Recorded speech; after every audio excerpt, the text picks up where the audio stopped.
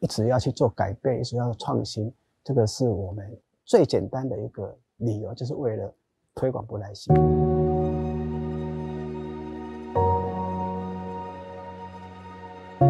迄阵啊，我阿爸讲过，我一开始并不是很喜欢布袋戏啊。基本上父母在做什么，做小孩子的基本上就不想再去接近。刚好我父亲以前在电视台演的时候看了，那我们暑假都会去打工，去看到后面的工作人员那种干劲的时候，你会觉得说哇，我们就是要跟他们在一块。我不是讲对抄好书起来，我不是讲对讲口白的起来，那我能够去贡献我的力量的，我可以写好的剧本，哦，来让布袋戏去演。啊，迄个时阵开始，他对布袋戏有某种程度的一种责任。讲难听的，因为时代在进步，你就会变成一个比较不入流的东西了哈。当你的创新灵感不见的时候，它是一个很痛苦的事情，就等死了。所以说，这 这个对我来说也是一种压力，因为我必须要去呃先掏空自己，做过的我就不要，我要以前没有做过的，还要比以前更好的。我们必须要这种雄心壮志。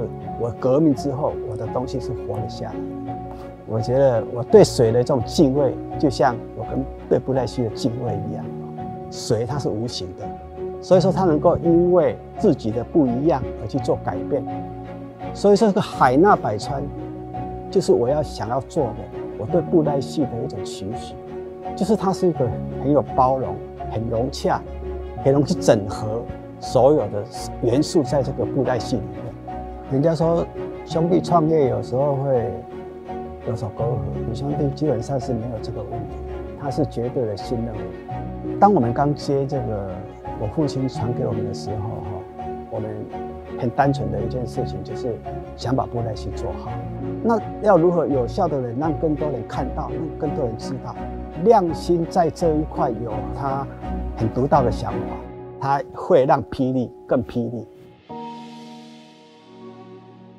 儿子嘛，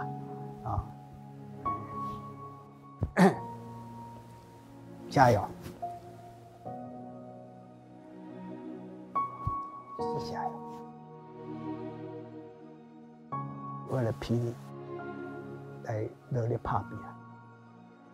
我们每个奉献，每一句话，都是为了不担心。